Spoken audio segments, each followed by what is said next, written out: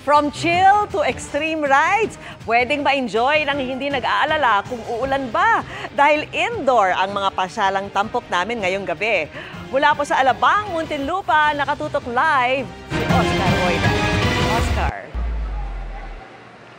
Eh, Vicky, tag-ulan na nga. Pero hindi naman ibig sabihin ito, eh, pipirmi na lang basta-basta ang mga kids sa bahay. Naghanap kayo ng mga indoor tambayan na fun-fun-fun maski bumubuhos ang ulan. Forest adventure ba ang hanap nyo? Pero di na uubra ngayong tag-ulan? We got you fam dahil sa loob ng isang mall sa Alabang Muntinlupa, pwedeng mamasyal sa Pixie Forest animoy enchanted forest dahil napapalamutian ng mga bulaklak at mga punong nakangiti. Pwede rin sumakay sa kanilang Ferris wheel na mga bulaklak at butterfly ang tema. O mag-feeling pilot, sakay ng flying dwarfs equipped with button para sa ascent at descent aerial maneuvers. At para makompleto ang inyong forest adventure, nariyan ang kanilang elfin waves sakay ng mini log-shaped boats.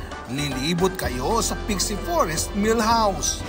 Ang mga rides dito nagkakahalaga lang ng 60 to 100 pesos. Pero syempre, di naman pwedeng mga chikiting lang ang may fun fun fun. Kaya sa Excite na nasa loob rin ng parehong mall, pwedeng i-enjoy ng mga teenager at maging nating mga cool parents ang kanilang mga full-size bump cars na kung tawagin ay Explode Drive. High-impact bumping action na ma-enjoy ng gusto kasama ang mga kaibigan. Pero kung mas mabilis ang trip nyo, pwedeng subukan ang kanilang high-speed go-karts at umikot sa 80-meter track.